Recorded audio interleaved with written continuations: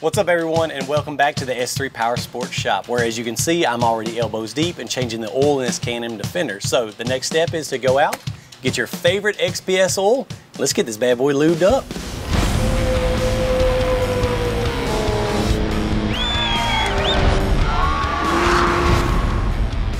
If you was watching but I caught that oil out of thin air. I think I missed it. It's pretty amazing. So few people know, but oil is like the blood of your engine, and without blood, this thing will not run. But Manny Fresh, our resident expert, is gonna tell you what we got going on here right in front of me that's gonna help us get that done. All right, guys, so today we're gonna use the XPS engine oil change kit.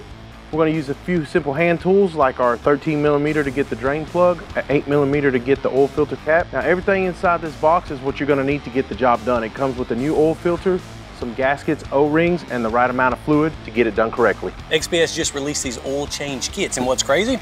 They don't even give you full quarts of oil. They give you the exact right amount portioned out to fill this motor up. You don't even have to think. You don't have to do no complicated math. It comes with everything. Manny doesn't have to do any work, basically, except put the oil in the motor and it's done. So today on the Can-Am Defender, we're gonna change the oil. I like working with a lot of room if I can. Luckily for us, this bed right here is detachable from the shock absorber that holds it up.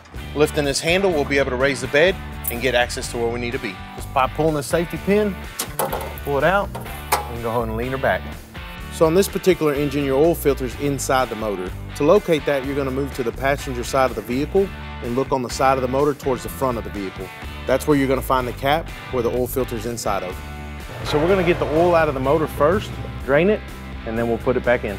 So the 13 millimeter drain plug is going to be located about three quarters of the way down the vehicle, center line with your motor straight down. Now when you're up under here, you're going to have a whole bunch of holes in your skid plate, but you want to locate the one that's directly underneath the motor. That's where your drain plug will be.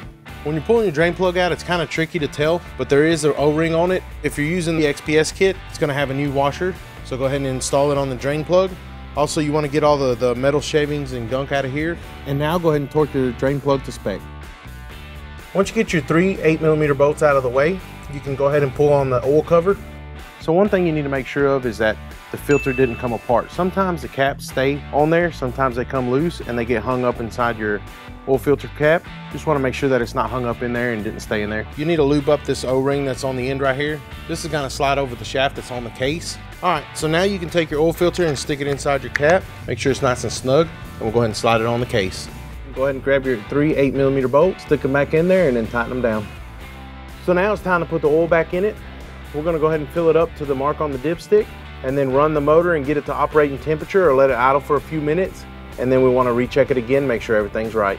So after your motor's heat cycled, and you get it up to operating temperature or let it idle for a few minutes, we'll go ahead and top it off to the line on the dipstick, and then you're ready to go. Manny, you remember the time I caught that oil? Remember that time I caught that oil? Oh, dang. All right, so that's Manny walking you through changing the oil on this Can-Am Defender. You guys already know you need to go like this video, but you can also subscribe to our YouTube page, follow us on Facebook and Instagram, and we're gonna keep showing you all the ways we get it done.